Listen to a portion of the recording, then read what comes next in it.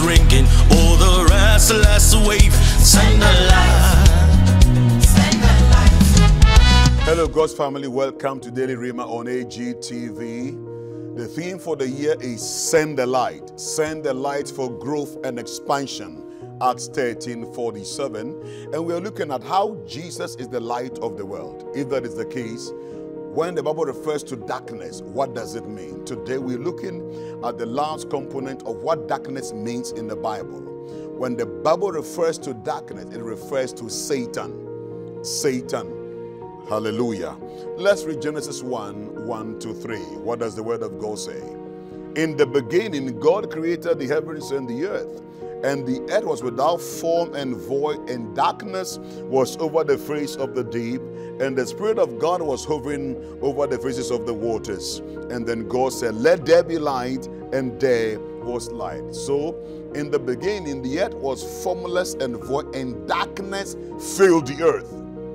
Darkness there represents Satan, both physical and spiritual.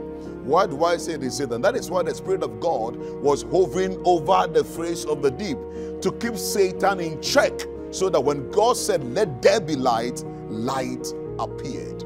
Hallelujah. So the word darkness in the Bible principally, primarily refers to Satan. So send the light to those who under the bondage and the power and the manipulation and the control and the deception of Satan. Hallelujah.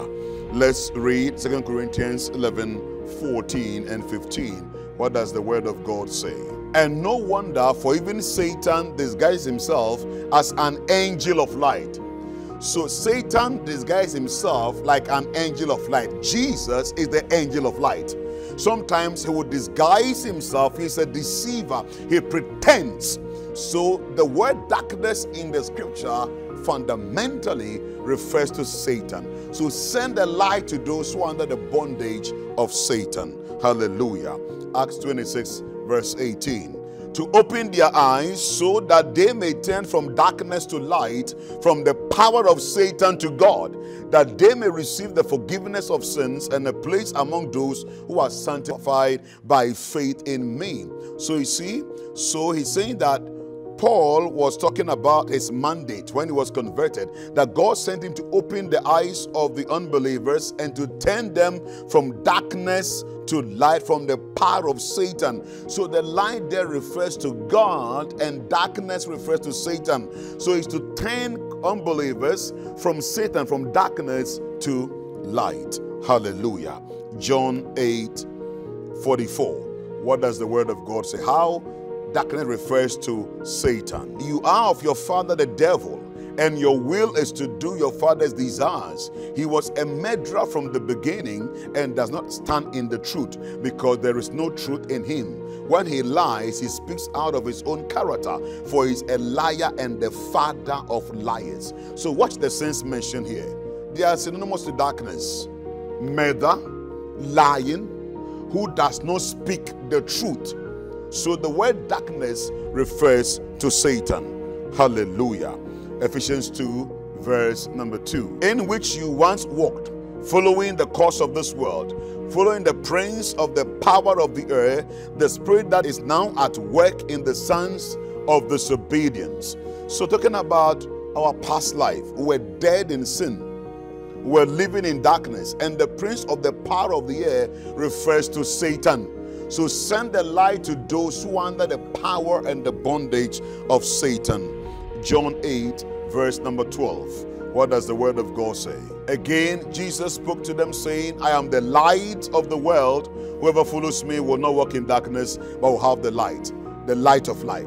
If Christ says, I'm the light of the world, who is at the other side, opposite? Is Satan. So Satan is darkness, the darkness of this world. Revelation 12, verse number 9. And the great dragon was thrown down, that ancient serpent, who is called the devil and Satan, the deceiver of the whole world. He was thrown down to the earth, and his angels were thrown down with him.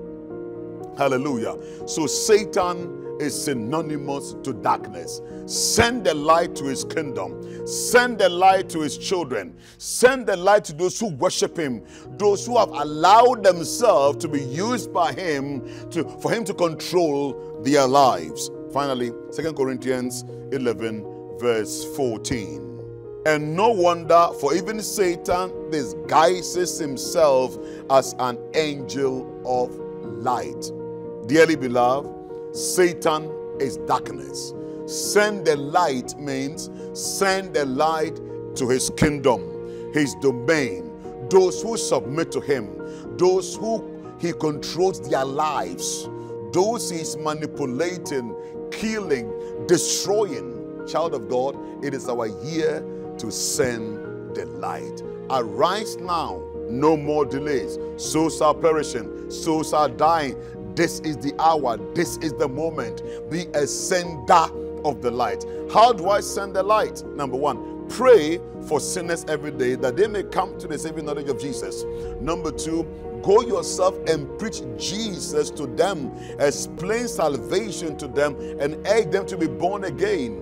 Then, number three, let your Christ like character preach the gospel to them, be an example to them. And then the next is give towards missions and then get involved in church planting. Then you'll be sending the light. Thank you very much for being part of today's episode. Same time tomorrow, Daily Rhema comes your way. I love you. Send the light now. The blessed gospel light.